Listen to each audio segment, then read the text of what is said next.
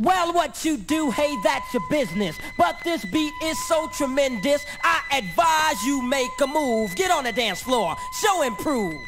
That music is the answer, and I'm serious as cancer. When I'm on stage, I turn around to DBC. He breaks it down. How that sound? Live and proud. Kick up the volume, play it loud. Bring out the sun, remove the clouds. And our intent is to please the crowd so that you can get with it. Cause we just did it. Created a song with no bullshit in it. A hip hop band and not a cabaret. DBC, let the music play. okay, okay.